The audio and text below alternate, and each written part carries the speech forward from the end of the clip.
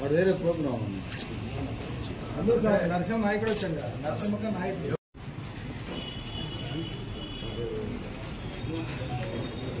మూడవ పట్టణ police station పరిధిలో నిన్న పదమూడో తారీఖున ఈ రావుత్ సల్మాను మునిపల్లి సుబ్బారావు వాళ్ళ మహేష్ అనేవాడిని గంజా కేసులో అరెస్ట్ చేయడం జరిగింది. ఇందులో ఈ రావు సల్మాస్ అనే అతను అరకు వెళ్ళి గంజాయి కొనుగోలు చేసుకుని వస్తాడు. ఈ సుబ్బారావు వాళ్ళ మహేష్ ఇంకో ముగ్గురు దీన్ని చిన్న చిన్న పార్టీలు చేసి వాళ్ళు కొనుక్కొని వాళ్ళు కూడా అమ్ముకోవడం జరుగుతూ ఉంది. మాకు వచ్చిన తెనాలి త్రీ టౌన్ సిఏ గారికి వచ్చిన ఇన్ఫర్మేషన్ వరకు వారి ఎస్ఐతో కలిపి వీళ్ళను పట్టుకొని వాళ్ళ దగ్గర కేజీన్నర గంజాయి సీజ్ చేయడం జరిగింది.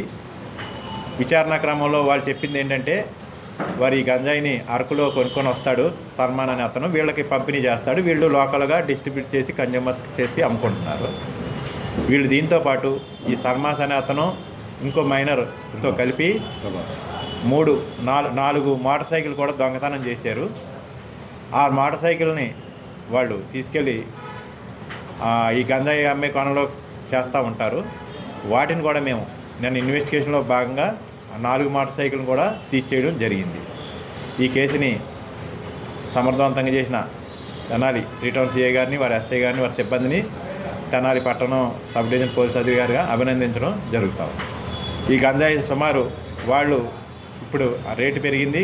కేజీన్నర మూడు ముప్పై వేల రూపాయలు కొన్నామని చెప్తా ఉన్నారు.